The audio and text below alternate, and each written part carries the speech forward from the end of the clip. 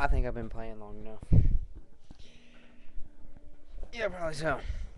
I think we're actually, uh, this video is over.